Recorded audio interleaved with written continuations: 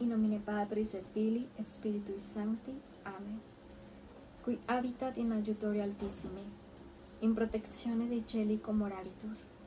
Dice Domino, susceptor meus estu, et refugium meum. Deus meus speravo in eum. Quoniam ipse liberavit me delaque venantium, et averbo aspero, scapuli suis obumbravit tibi. Et supenis eius sperabis. Scuto circundavit, te veritas eius. Non timebis a timore nocturno. Assagita volante in die, a negozio perambulante in tenebris, ab incurso et demonio meridiano. Cadent a latere tuo mile, et ecce milia ad dextris tuis. A te autem non apropinquavi.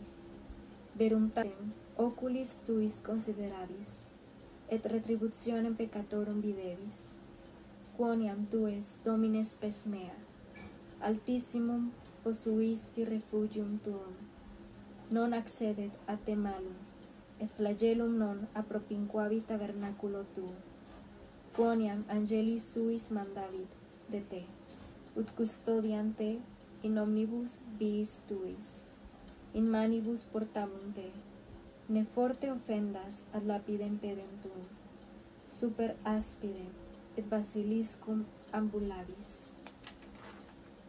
et conculcabis leonem et draconem, quoniam speravi liberabo eum, protejam eum, quoniam coniovit nomen meum, clamavit ad me, et ego, exaudiam eum, cum ipso sum in tribulatione, eripiam eum, et glorificabo eum. Longitudine dierum replevo eum, et ostendam ili salutare meum. Gloria Patri, et Filio, et Spiritui Sancto, sicut erat in principio, et nunc, et semper, et in saecula saeculorum. Amen.